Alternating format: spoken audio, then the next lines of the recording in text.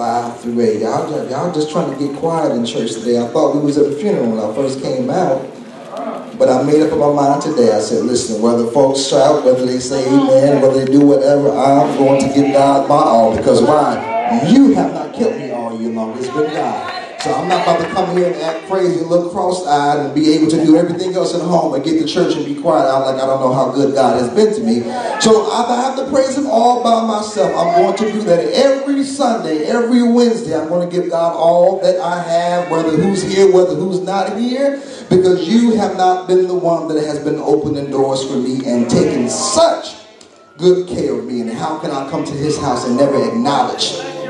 Him for who he is. John chapter 5. John 5. Get your phones ready. Look at your neighbor again. Say, neighbor, get your phone ready. Get your phone ready. Get your phone ready. Now, a certain man was there who had an infirmity 38 years. 38 years. Verse 6. When Jesus saw him lying there and knew that he had already been in that condition a long time, Jesus said to him, Do you want to be made well? The sick man answered him, Well, you know what, what anybody would answer. Of course, sir. Yes. I have no man, I have no man to put me in the pool when the water is stirred up. But while I am coming, another steps down before me. Verse 8. Jesus said to him, Rise, take up your bed and walk. Let me just read 5 through 8 again. Now, a certain man was there who had an infirmity 38 years. When Jesus saw him lying in there and knew he had already been in that condition a long time, he said to him, Do you want to be made well? The sick man answered him, Sir, I have no man to put me in the pool when the water is stirred up. But while I am coming, another steps down before me. And Jesus said to him, Arise, take up your bed and walk. I hope you got your phones out. I want you to take a selfie. No problem, I want you to take a selfie. Listen, your, your other neighbors may not be uh, uh, social media, uh, uh, uh, you know, in, in social media, what's the word I'm looking for? There we go. I want you to take a group selfie with you, with the people around you. I'm with them here with the musicians. We're gonna take a selfie together. Apologize, I don't have my selfie stick today. Amen. All right. Okay, we'll take another one because my mouth was open on that one. All right, get with them. Okay. All right. We on our way. It's gonna make sense in a minute. Just flow with me. Just somebody say, "Oh my gosh, this guy is crazy."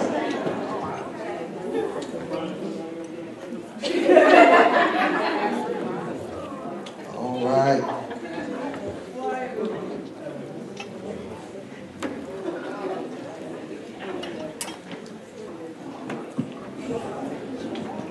Somebody get what we're milling. We're gonna get him on social media. We're gonna show Sean and everybody. They can see that deal on social Thank you. Okay, all right, you got it. Y'all got it. Y'all took y'all pictures and stuff. Okay, okay, okay. Now, you took that with your neighbor. I want you to look at your neighbor and say, neighbor. Neighbors. That picture we just took.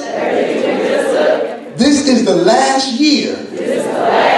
You will see me like this. Okay, find you another one. Find you another one. Find you another one. Find you another neighbor. Let them know and say, neighbor. This is the last year you're going to see me like this. Now find you one more person, one more, one more person, another third person, another third person. Say, neighbor, oh neighbor, this is the last year you will see me like this. Now I want you to look down at the floor and let the devil know, let the enemy know right now. Say, devil, this is the last year you're going to see me like this. Open up your mouth and give God a praise real quick. This is the last year. This is the last year. This is the last year. This is the last year. This is the last year. I'm to be this. This is the last year. I'm to be this unhappy. This is the last year. My health is to be like this. This is going to be the year. This year. Next year is to be my year where I'm stepping out and trusting God and doing everything He's called me to do. Come on, stop out there again. It's the last year. It's the last year. It's the last year. This is the last year. This is the last year. You may be see the praise of the Lord. This is the last year. Last year. You see me like this. This is the last year you see me. So I want you to keep that stuff. I want you to keep that picture. In fact, post it on social media and let people know that this is the last year you ain't see you like this. And I want you to keep it in your phone to serve as a reminder that this is the last year you're going to see me like this. We are on the brink of a brand new year. A new year brings about a fresh perspective, brings about a, a, a, new encounter we have with God. A new year brings about fresh and new expectations, Joel, because we're excited. Because by this time, by this time, we're already saying what we're not going to. Well, I'm not. I'm, I'm going to lose weight in 2016. I'm going to save more money. We're already making plans about what we're going to do and what's not going to happen in the new year. But the thing that I want us to be mindful of today is the thing that I want us to be mindful of today is, is that listen, the declaration that you and I just made that this is the last year you'll see me like this, that is all well and fine. But a declaration without action is void. Many times what we do, we make New Year's resolutions about what we're going to do, but we never set in place a strategic plan about how we're going to accomplish what we're desiring to accomplish. Many of us are talking a good game and, and talking a lot of good stuff and, and saying how I'm going to pray more, but we're not making time available. We're not setting aside time so that we can pray, so that we can read. We're not doing anything but just giving lip service. And God is trying to get us to see today that there is no need for any more lip service. There's no need for no more lip service. Stop making all these vows. Stop making all these promises to God that you know that you're lying to yourself and God knows that you're lying to yourself and to Him because He knows that you have no intentions to do what you said that you were going to do.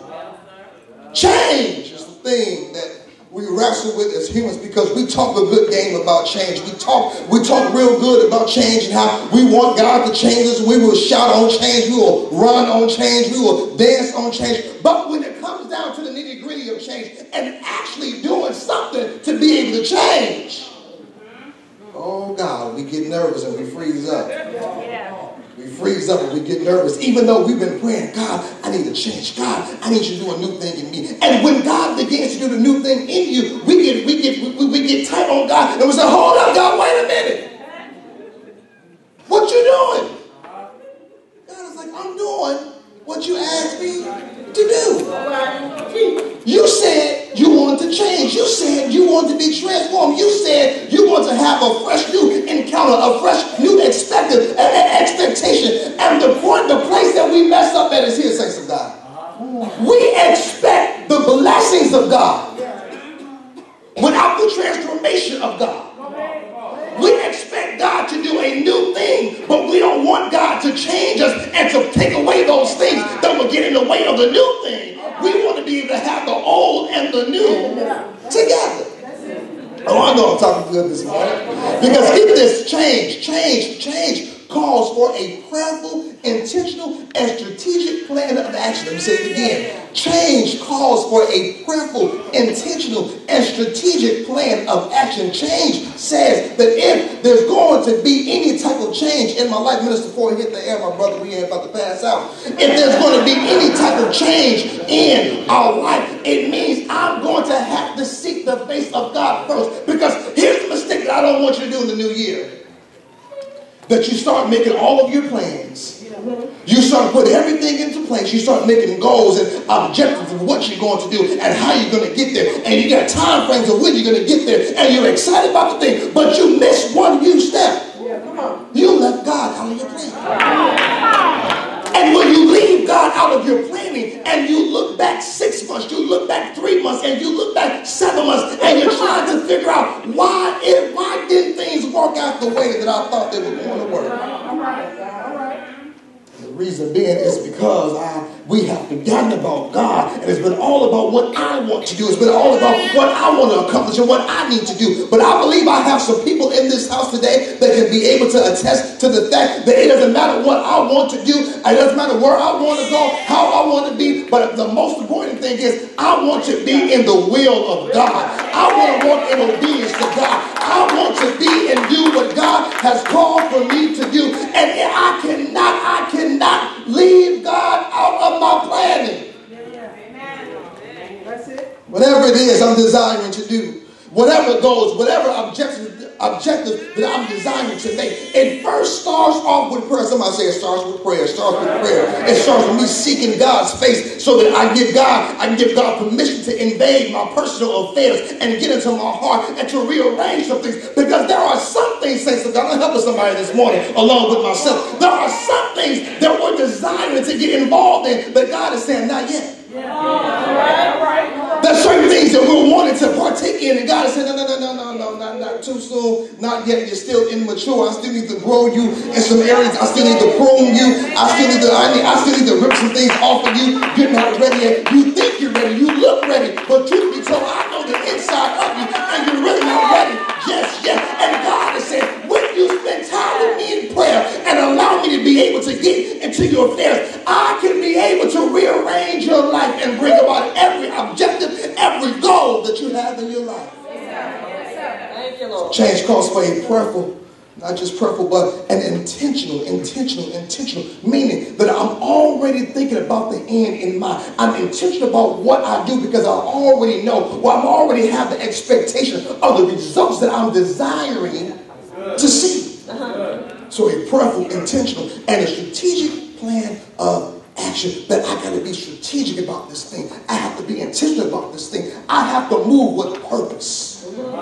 I have to think with purpose. I have to talk with purpose. I have to act in purpose. I have to make sure that everything that I'm desiring for God to do in my life and to do through me, that I am prayerful and intentional, and I have a plan of action about how this thing is going to come to pass. All right. Yeah.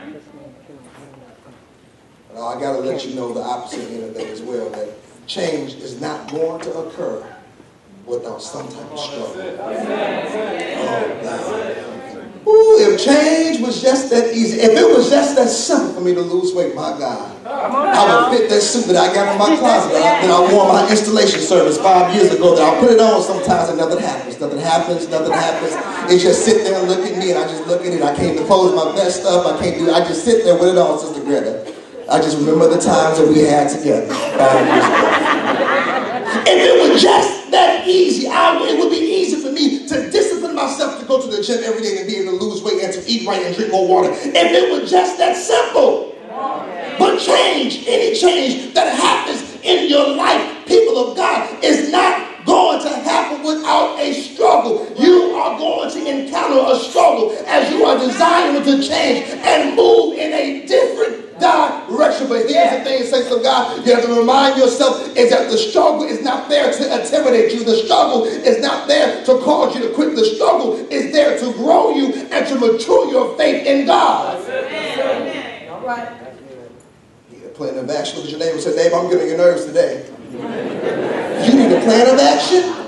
And you need to be reminded that this thing is not going to happen without a struggle taking off, breaking off in your life. That is not going to come easy, but it is going to be worth it. You are in the fight for your life. You are in a fight for your life as you're getting ready. Because get this, the enemy knows he may have a sneaky suspicion about what's about to jump off in your life in the new year. And he will do everything that he can. Because sometimes we will allow for the struggle to be a distraction.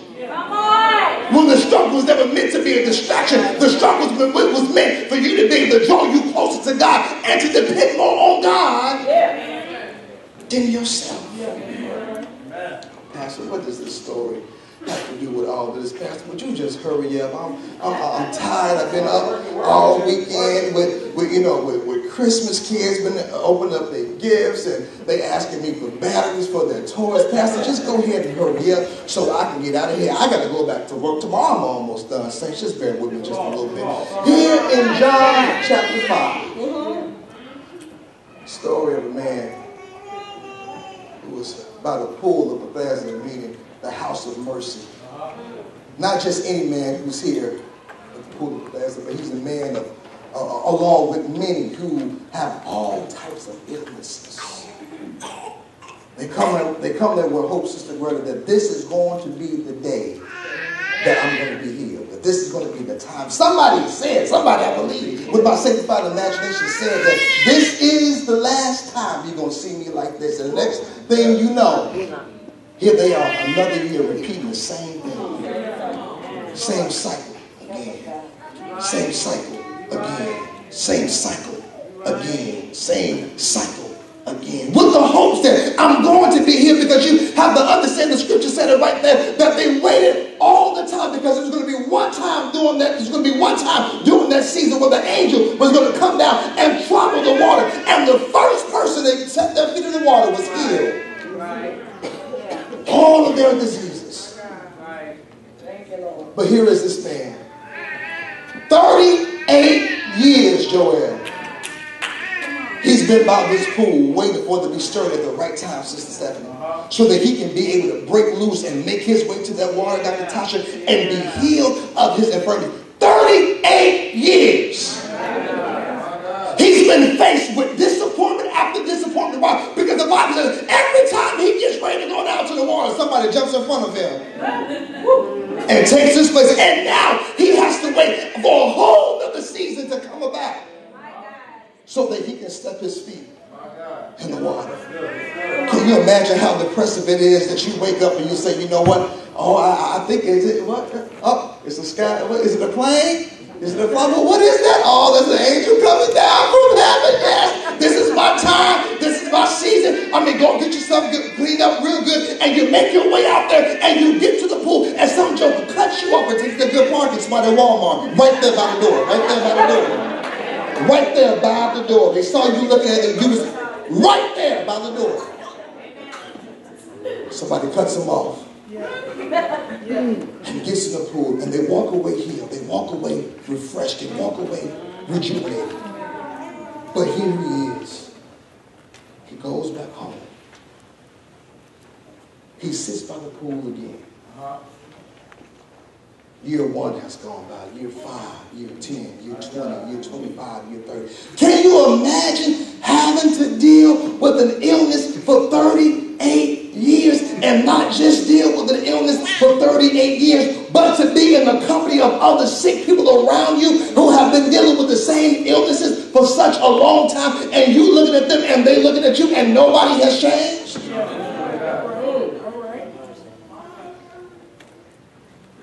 38 years. He's having to deal with the reality of the matter that I may be like this for the rest of my life. Rest of my life, I might have to deal with this. Some were permanently ill. We don't know all the illnesses that they had, but they're all there. They're all sick. So he's a constant reminder that I might be like for the rest of my life. But there's something that you got to see in the story about this man. There's something that you got to see in the story about this man that's going to bless you as you end this year and get ready to welcome a whole new year. That there was something about this man that he had expectations.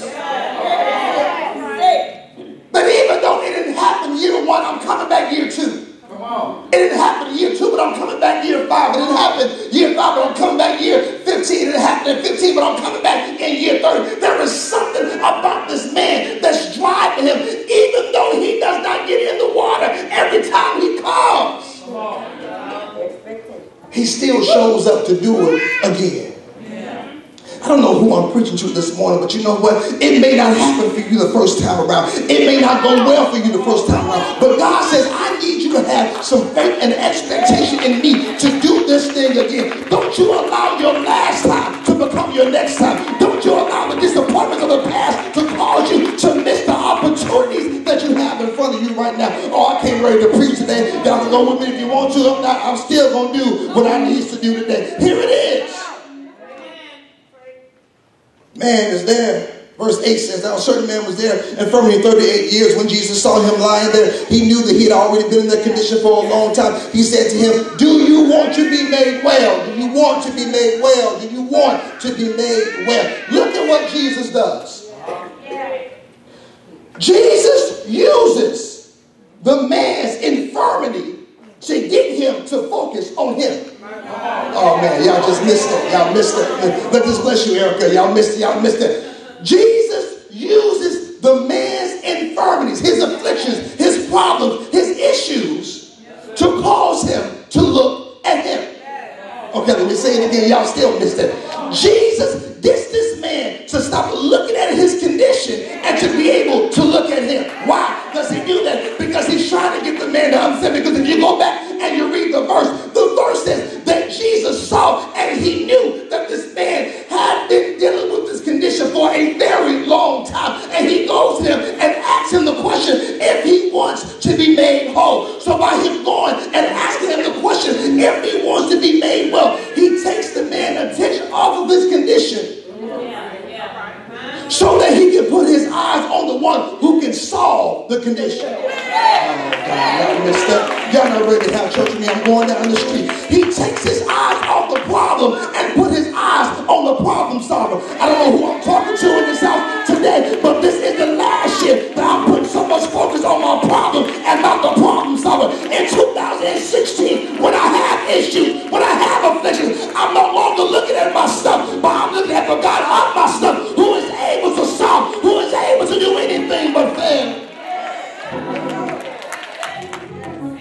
sometimes, sometimes, sometimes, God is waiting to do something in us. God is designed to do something in us, but He can't get our attention because we keep looking at what we're in instead of Him. He says, okay, let me meet this man where he is. Let me cause him to look at his infirmity, but then to also look at me because I'm the one. I'm Jesus. I'm the one. Yeah, I am. I'm the one that is able to do what needs to be done in his life. Get this. There were probably thousands of people chilling by the pool. Kicking. But Jesus sees this one man. The Bible does not say that there were others that had an infirmity for 38 years, but I'm quite sure there were others who had been there longer than 38 years. But there was something about this man that out of all the multitude of people that were there, mm-hmm. Jesus saw him. And when he saw listen, as Jesus was thinking, Jesus already had a plan of action how he was going to bring him out. Jesus sees him there and he goes up to him and he begins to have a conversation with him. And then he asks him the question Do you want to be made well? Now, this seems kind of crazy. Jesus 38 years I've been sick. 38 years I've been paralyzed. 38 years I've been coming to this pool ready to, ready to put my body in so I can be healed. 38 years I've been coming here year after year, time after time. And you have the audacity to ask me if I want to be made whole? Come on. Jesus, 38 years. I've been dealing with this lingering condition. Yeah. And you're asking me if I want to be made whole. Why does Jesus ask his brother if he wants to be made whole? Here's the first thing that you got to realize. He asked him this question because not every sick person wants to be healed. Oh, I'm opening up a can or something. Person wants to be whole. Why do you say that, Pastor Swims? Because I've been around people long enough. I've been in church long enough. I've been preaching long enough that there are some people who pride themselves on being the victim. And they allow, they love being the victim. Why? Because the victim comes with some, the victim comes with some benefits. And they love benefits of being a victim. So Jesus says, hey, I'm willing to help you. I'm willing to make you whole. But if you want to have a victim mentality, there's a multitude of people that I can able to go to. But there's somebody in this house today. You say, hey, Jesus, here I am right here. I want to be made whole. I'm tired of being sick. I'm tired of dealing with this stuff. Jesus, if nobody else wants it, I want to be made whole.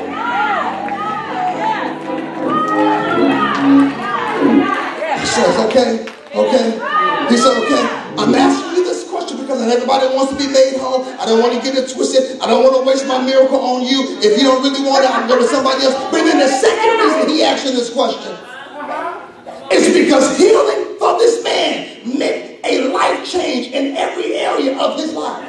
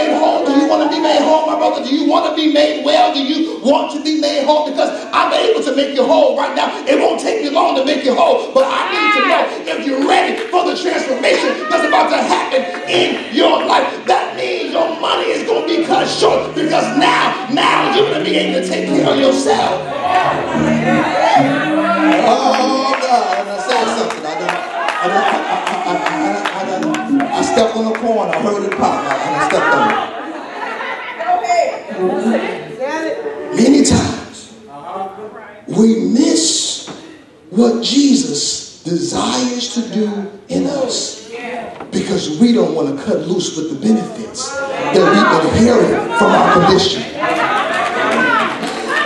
I remind the kids all the time, the kids at school, y'all know I gotta have a story, I gotta have a story. They start acting crazy and doing stuff, and they come to me, and I say, listen, what's, what's gotten into you? What's wrong with you? Mrs. Williams, I ain't had my medicine today. Come on. Come on. And when I don't have my medicine, Pastor Williams, I have no control of myself. Talk, Pastor. Talk. And when I don't have control of myself, Pastor Swim, I just do some of everything and I just say everything. Come on, Pastor. Come on. Help it, man. All right. I say, you mean to tell me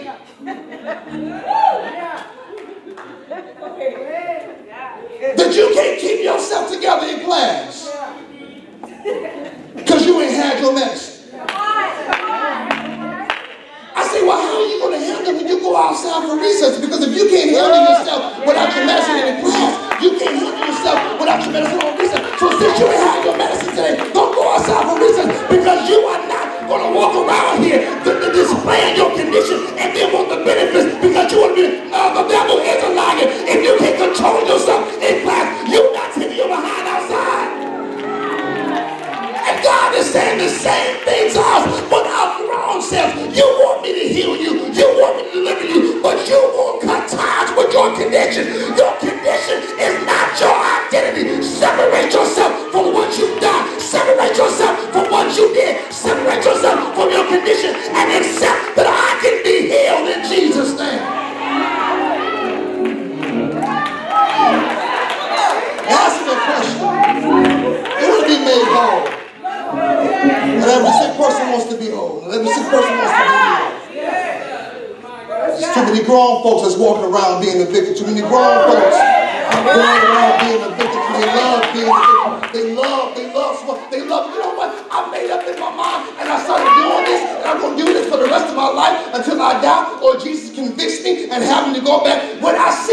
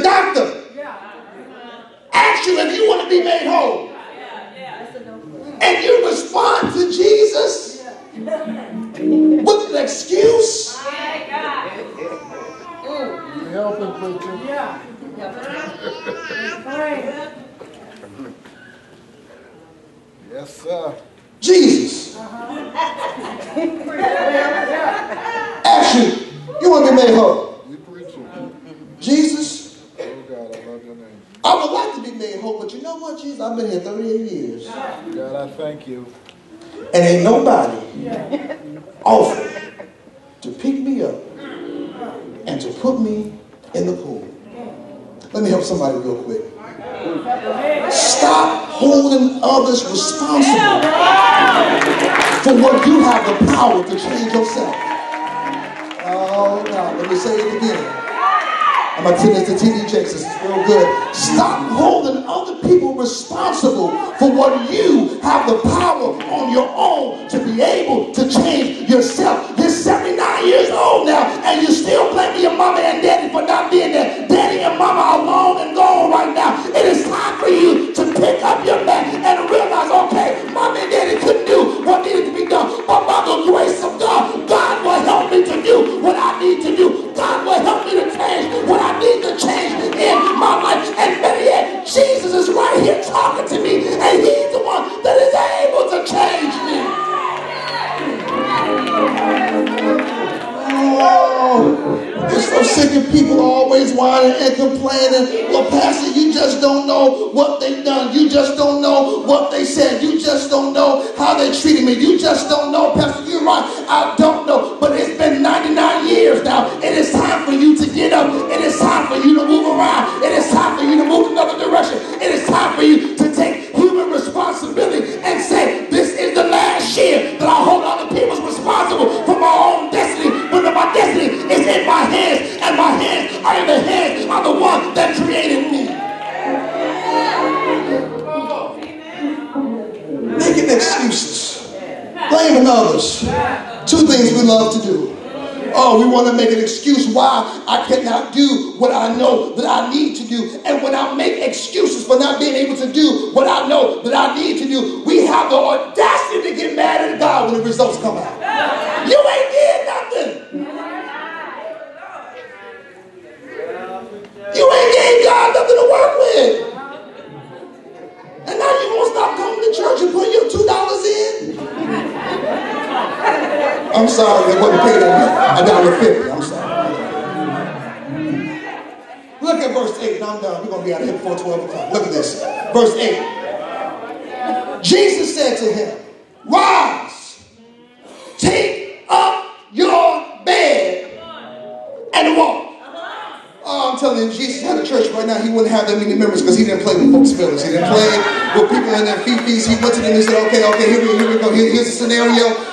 I scoped you when I came in. I saw you. You've been. I know you've been dealing with this for 38 years. I know you've been going through this for 38 years. I got that. I get it. Okay. Hey, bottom line, you want to be made whole, brother? Because you know what? There's a multitude of people out here. I can heal anybody that's out here. Just let me know. Because if your answer is no, I'm skipping and I'm going to the next person. But if your answer is yes, I'm more than welcome to do what needs to be done in your life right now. Better yet, if you say yes, I can make it happen just like that in your life. I'm just waiting for you to say yes. I'm just waiting for you to yield. I'm just waiting for you to give me the okay sign so that I can be able to do what needs to be done. If you don't want it, that's okay. I'm not mad. I will go on to the next person. But do you want to be made whole? Yes. yes. Two ways this brother can respond to this command that's given. Uh-huh. Yeah. Simple. The first one is just to obey. First one, just say, yeah, yeah, yeah, yeah, okay, let's go. Pick up my mat. I'll go. Second thing is what we do. we create a box for Jesus that limits him to our finite ideas. Oh, God. Here we go. We create a box for Jesus that limits him to our finite ideas. So this brother already has in my mind, has in his mind, healing cannot happen for me. Why? Because I don't have anybody to help me. God, I just said something. I can't make, I can't see the change that I desire to see in my life because I ain't got nobody to mentor me. I ain't got nobody to coach me. I don't have anybody to be there on my hand and say, keep going. I don't have anybody by my side. But then he realizes something. I am talking to Jesus, ain't I? Jesus is the one that went into the temple and the brother with the withered hand that had been withered for so long that Jesus tells him, On my word, stretch out your hand. Oh, this is the same Jesus that, you know, that had, that had the friends and the friends were sick. The, the one friend was sick, he was paraplegic, and he couldn't get into the building, and they took the roof off, and the friends let him down right in front of Jesus. This is the same Jesus. So he says, you know what? Maybe if I work in collaboration with Jesus, there can be some power that can be produced. Because get this, all the time, Jesus is trying to get him to see this, and this is one thing that you got to be able to see for your own life in this new year 2016. It doesn't matter who I don't have, as long as I got Jesus. Okay, I missed that. Let me say it again because I thought I was in a real church right now. It doesn't matter. This is the last time, this is the last year that you see me depend on people more than I depend on Jesus. Jesus is trying to get him to be able to see through your condition, through everything else. Forget who's not there. Forget who walked out on you. Forget who gave up on you. But realize that the help that you do have and your help is me. In this new year of 2016, if you nobody else, you praise God at the fact that I got Jesus in the morning, Jesus in the afternoon, Jesus when the sun goes down, Jesus in the wintertime, Jesus in the springtime, Jesus in the summertime, Jesus in the, the, the make up your mind. It does not matter who's in or out of my life as long as I got Jesus. Come on, Vicky Waters. I don't need nobody else. Somebody praise God for Jesus.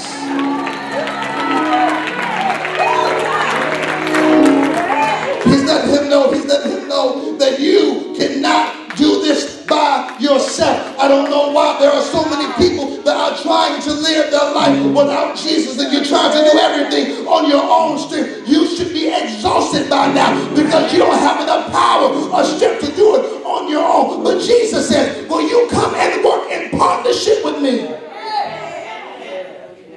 My partnership produces power.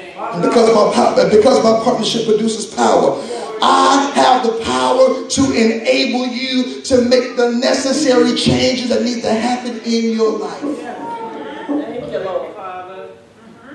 The last thing Jesus does by him giving this command. So I told you that the brother had two ways he could respond. He could, he could say, he could obey and say yes, or he could create a box for Jesus and, and limit him to his own ideas. Let Jesus out the box in 2016. Would you, please, would you please let him out the box? Would you please unlock the cage so that he can be Lord and Savior in your life and take you to places that you've never been and do things in your life that you never experienced before in your life? Can you look at your neighbor and say, neighbor, please take him out the cage. Let him out the box. Let him breathe, for goodness sakes. Let him be great. Oh my goodness. This does when Jesus in verse 8 says, Rise, take up your bed, and he walks. Jesus tells him, you know, he shares with him, he shows him, listen, there is a partnership that produces power. He says, but get, don't get it twisted, my brother. None of this is going to happen without you fulfilling your human responsibility. God, God, there was a hush in the church.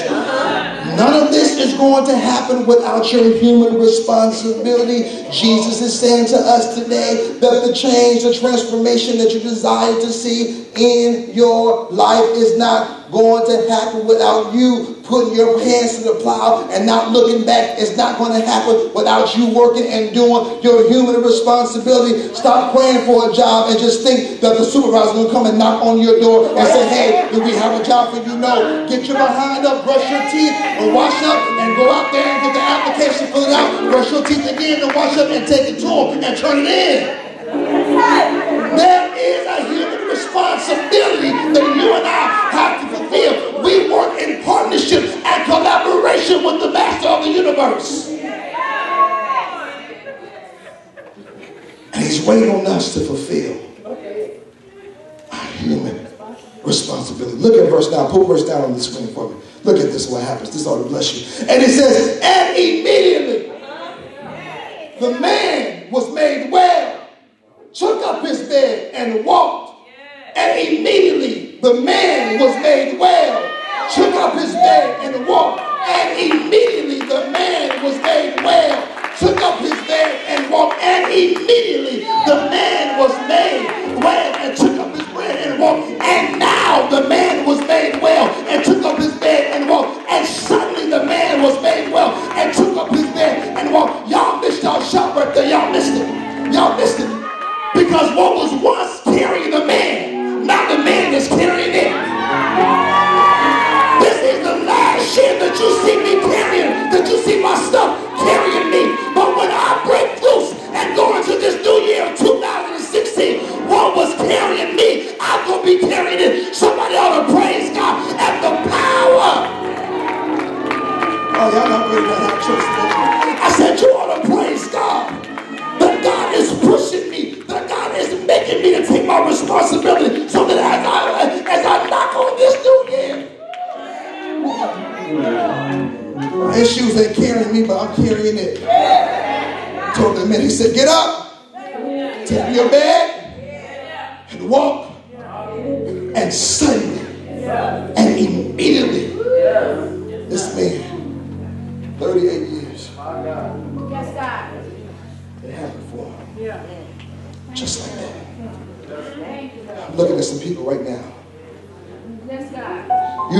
About the new year, but you're frustrated at the same time because it didn't happen.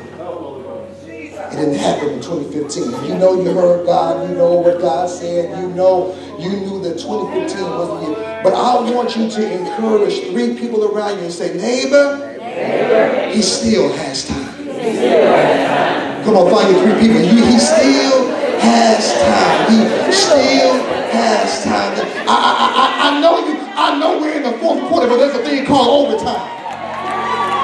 I know we're in the fourth quarter, but there's a thing called overtime. And overtime gives you just a little bit more time that you need to finish off what you need to finish off. Somebody ought to praise God at the fact that we serve a God of the overtime.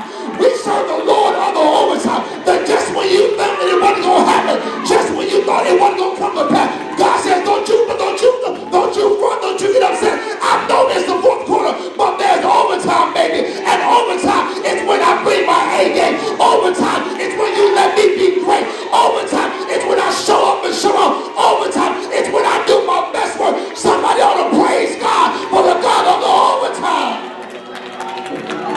I say you ought to praise God that God still has time to make it happen for you in 2015. Oh, y'all not praising God. Y'all, y'all, y'all looking at me. Don't look at me. I said praise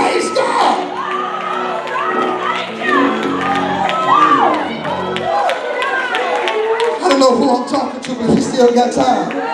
He still got time. Uh, come on, come on, January 1st ain't here yet. He still got time to bring some vision to pass. He still got time to heal your body. He still got time to reconcile some relationship. He still has time.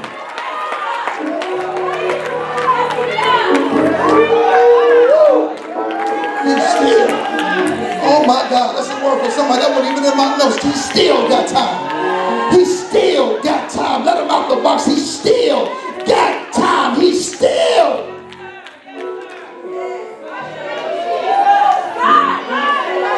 still got time. He still. Come on, stop by with neighbor. Tell him he still got time. Ooh, that was the wrong neighbor. Find your different one. He still got time. That was still the wrong one. Find you. If you're gonna walk across the aisle, find another one. Say,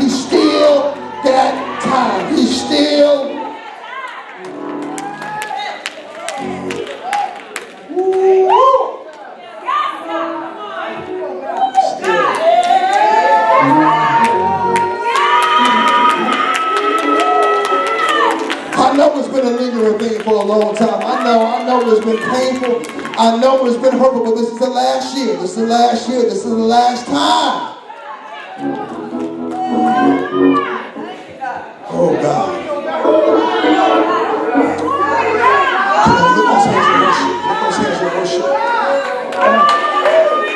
Come on, lift those hands in worship. Lift those hands in worship. Lift those hands in worship. Oh God, lift those hands in worship. Lift those hands in worship. Oh God. Erica, you be encouraged. He sees, he sees her. He sees her. He sees her. He didn't forget about Evelyn. He sees her. Yes, he does. I know it's been a long time. I know it's been a long year, but he sees her. He sees her. Oh my God. Oh my God. I know it's been a long time. I know. I know your relationships has been crazy. I know your marriage has been crazy. I know your money has been funny and your change has been strange. I know your health has been crazy, but he sees you. He sees. He sees. He sees. He sees. You. He sees you. Oh God.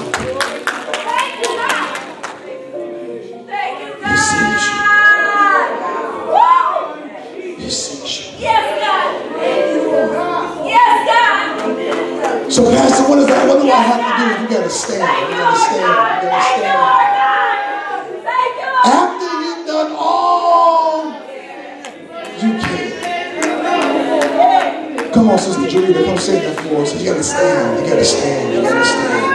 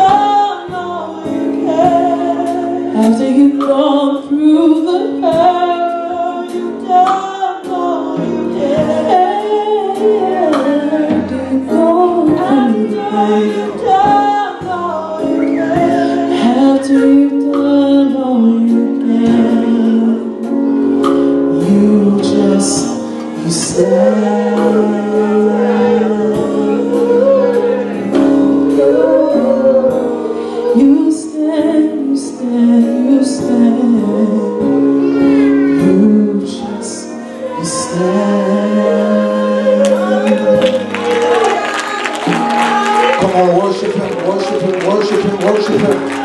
Come on, I don't hear you. I said worship him, worship him. Open your mouth. It's the last Sunday of 2015. Come on, let's go out with a bang. Open your mouth, open your mouth, open your mouth.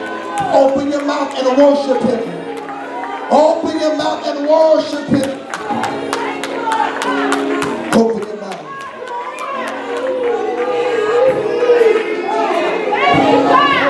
Hallelujah. This is what I want you, this is what I want you to do.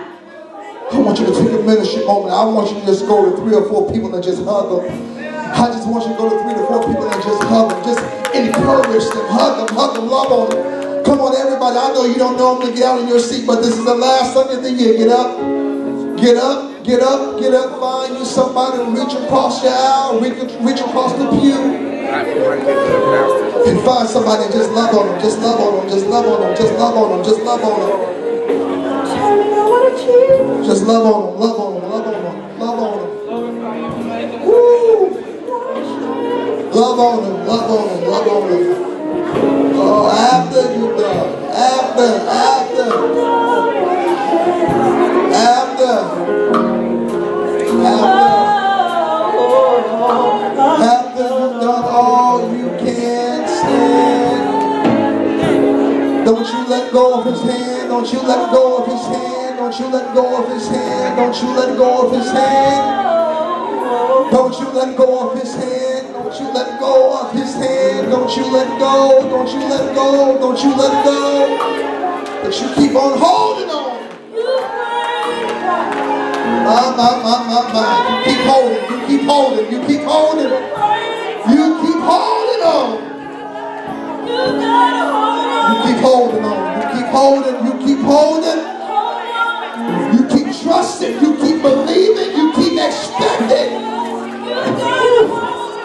Is the last year. It's the last year you see me like this. It's the last year. It's the last time. It's the last Sunday. It's the last month that you see me like this.